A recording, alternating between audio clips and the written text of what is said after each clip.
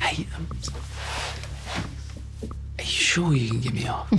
no, it's just that I um I left quite a bit of evidence at the scene, and it sounds like they found it all. Relax, kid.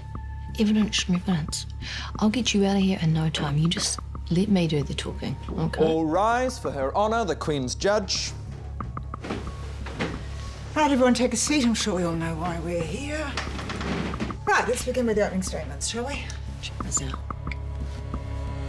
Your Honour, this case is a farce. Yes, I know my client made mistakes, but who among us hasn't? Are mistakes illegal now? Hmm? I mean, maybe we should all go to jail. Your Honour, I move that you declare this case a mistrial and dismiss it immediately for the one true, undeniable fact that neither myself nor my client speaks a word of English.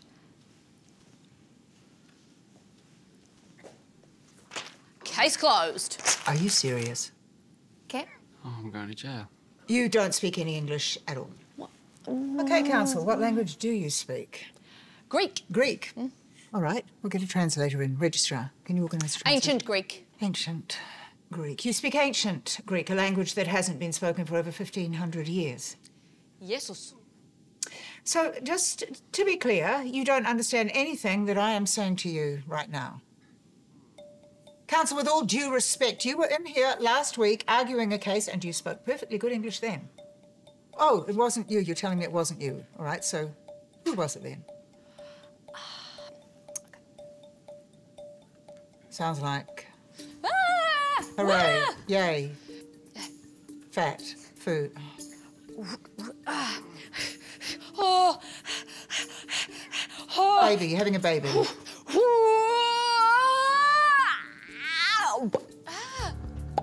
having two babies. Oh, ah, twin, twin. You're saying it was your identical twin.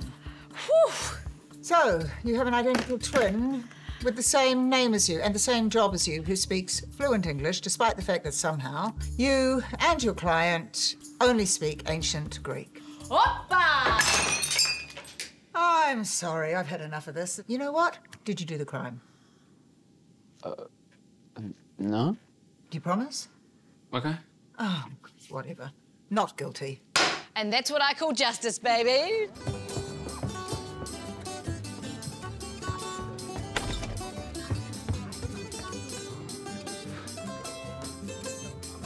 Courts! They're not really like that. New Zealand judges don't even use these. So what's it really like? Who knows? I do, and I'll tell you in a second.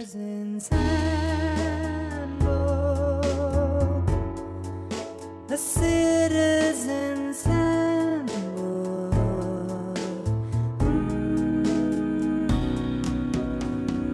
In Te Ao Māori, the community comes first. Your whānau, your hapu, your iwi.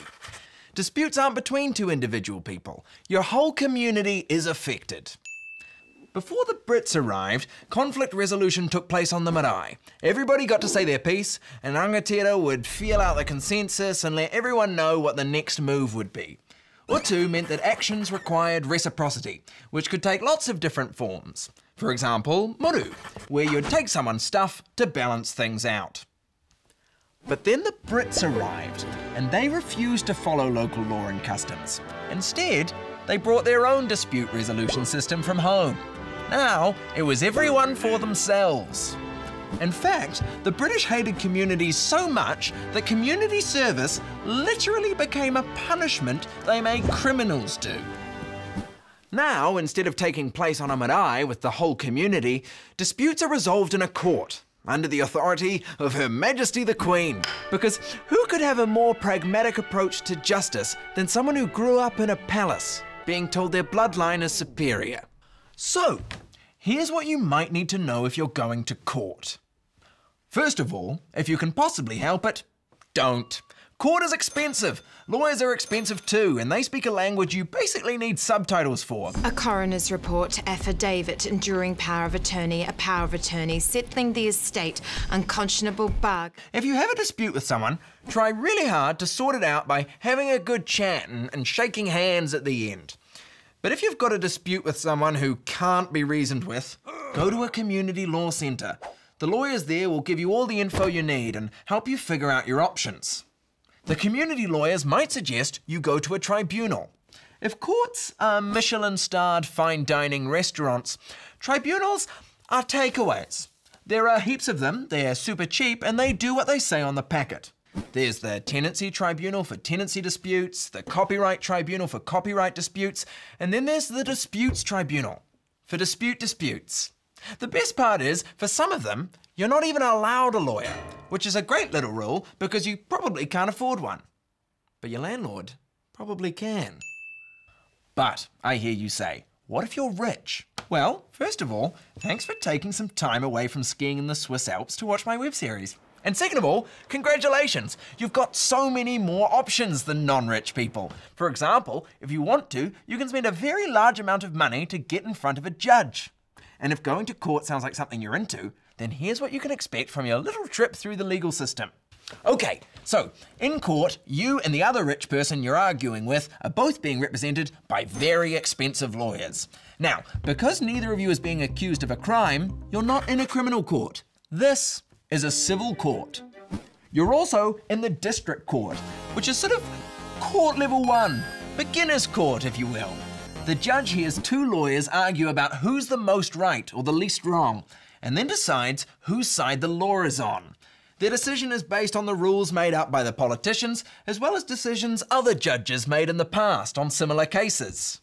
But what if you disagree with the decision the judge makes and you're still so rich and your new favourite hobby is giving lawyers money? Well, then you can bump your case up to the High Court. And if that doesn't give you the answer you want, and you're still rich and really getting into your lawyer hobby, you can complain your way up to the Court of Appeal. And if that still doesn't do it, and you're somehow still not broke, you can hire a whole fleet of lawyers to take your dispute all the way to the Supreme Court. Unless the Supreme Court chooses not to hear your case, in which case, bad luck. That's it. You're stuck with whatever the Court of Appeal said. So what now? Well, you're out of legal options. So let's say that you take matters into your own hands. Maybe you throw a brick through a window. Well, guess what? That was a bad idea you just had. Now you got caught. So now the government has a dispute with you because you broke their rule about not throwing bricks through windows.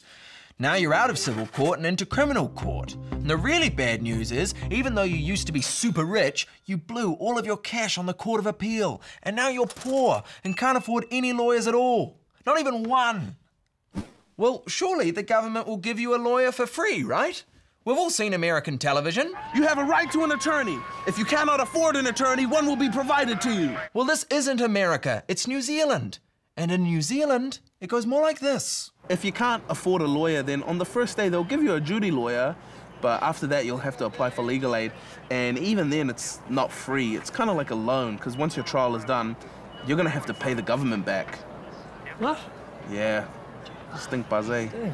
So, after hearing that and serving your sentence for the brick thing, you might be pissed off by the injustice of the whole darn system. Which brings us to another reason you might go to court. You want to get in front of a judge and tell on the government. Well, first off, your best bet would be to go to the Ombudsman, who's kind of like the government's complaint department. But if you're part of a big fancy organisation who can afford lots of lawyers, then you might drag the government to court and call them out in front of everyone. If you're right, the judge might shout things at the government, like, Oi, you are not following the principles of the treaty! And, Hey, that is against the Bill of Rights. Do not do that. And if a judge orders the government to do something, they usually do it. So that's something. One of the main things about the law is that it applies to everyone, even the government, even the All Blacks, even Lorde. So don't let them get away with stuff. So, um, to recap, court is a big fancy room for settling disputes, and um, all going well, you'll never go there. Okay, bye. Citizens